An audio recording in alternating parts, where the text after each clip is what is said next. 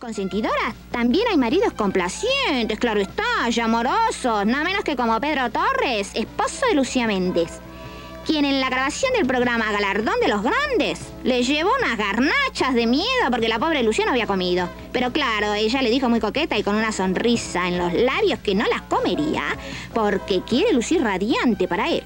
Es que Lucía Méndez, bueno, qué barbaridad, cuida muchísimo su alimentación, que antes de sentarse en el foro a grabar, procura tener una botella de agua purificada, porque el agua es vida. ¿Cómo la ven?